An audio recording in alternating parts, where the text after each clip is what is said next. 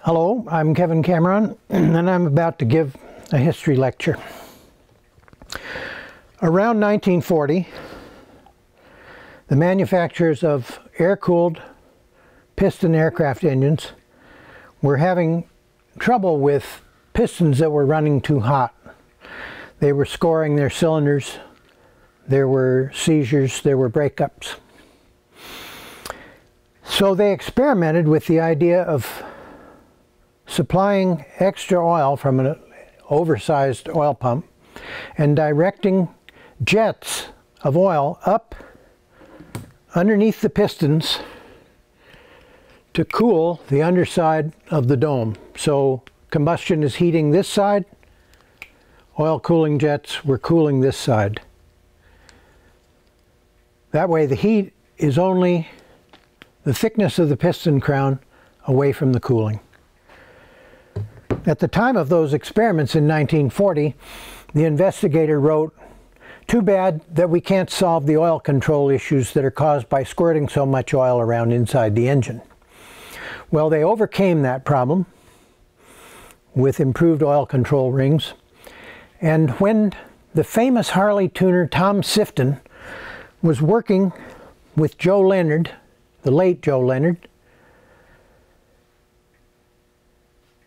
he decided that he would attack one of the worst problems of the flathead Harley KR racing engine, which was piston seizure in distorted cylinder bores.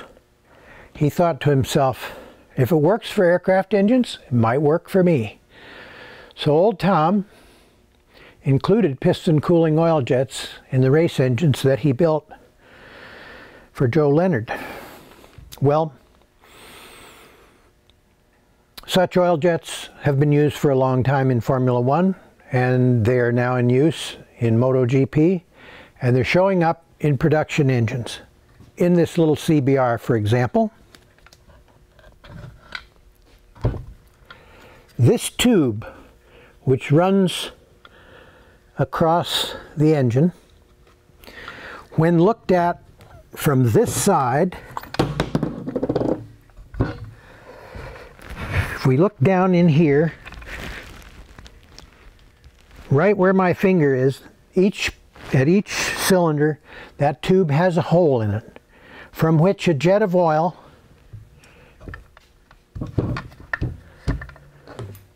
shoots up to hit the underside of the piston dome, splash across to the other side, and fall back into the crankcase.